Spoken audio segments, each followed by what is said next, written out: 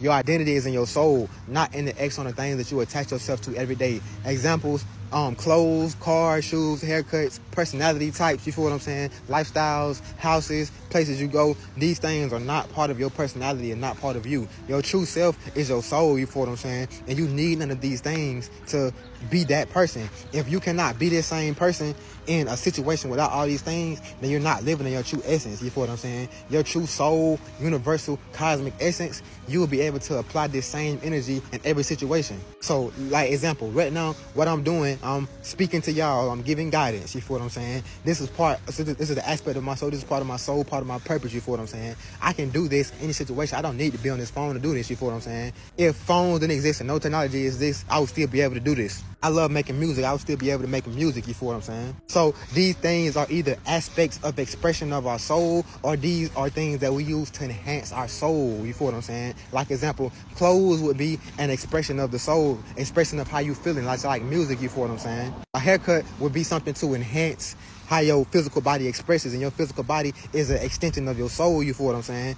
It's like your voice. Your voice is uh, your your frequency, your energy, your energy, your physical body is an aspect of your soul materialized into a physical body. You feel what I'm saying? Composed in this format. That's why I look like what I sound like. You feel what I'm saying? You ever seen somebody named Michael and they look like a Michael? Somebody named Jack and they look like a Jack? My name is Zamar, and I look, talk, like, walk, walk, walk it like I talk it, act like a Zamar. You know what I'm saying? This is my soul. I'm living my soul, and it's gonna apply to every situation, which where I can go to every situation in life and still be myself. You feel what I'm saying? I don't need to have these external things to be myself. I don't have these attachments. These are not part of my personality. Then it's also certain expressions of yourself that you picked up doing this thing that are not you as well. Like example, you could be a loud person, but in your soul, you could not like to be loud. No matter of fact, I'm gonna give an example for myself. I've been a quiet person my whole life, but I never wanted to always be quiet. I wanted to speak up and have fun and party, but I always been a quiet one and wasn't talking to nobody in the room. It was just because of the shit I went through in life made me like that. You feel what I'm saying? So I could easily say, well, I'm just quiet. Is just me. I'm just quiet, but it doesn't benefit me in my life especially toward the path I'm going. You feel what I'm saying? To do the things I want to do in life, I have to get out of that. You feel what I'm saying? Also, just a quick tip as well with these zodiacs, it's the same way. These zodiacs are only influences that influence you while you on this planet. You feel what I'm saying? You don't have to live by those things. And the purposes of having these things is